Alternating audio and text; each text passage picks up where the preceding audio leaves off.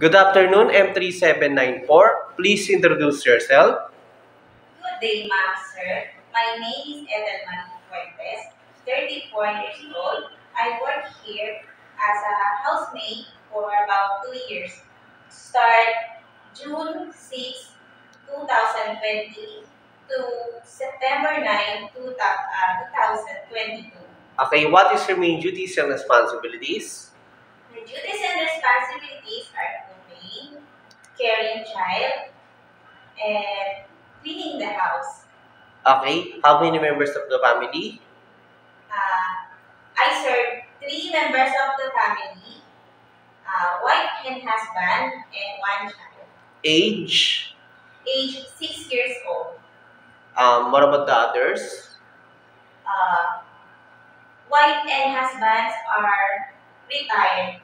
I mean, what age? Uh, uh, wife is 45 and husband is 43.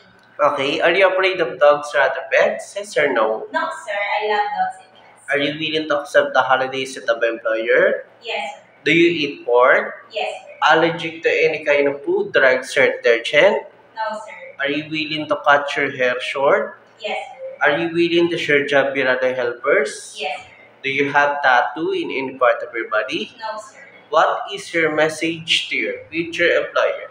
my to my future employer, uh, to my future employer, uh, please, uh, to my future employer, uh, uh, please, my future employer, uh, please give me a chance to serve you as a domestic helper and I will promise that I will do my duties and responsibilities and I'm looking forward to work with you. Thank you. Thank you, M3794.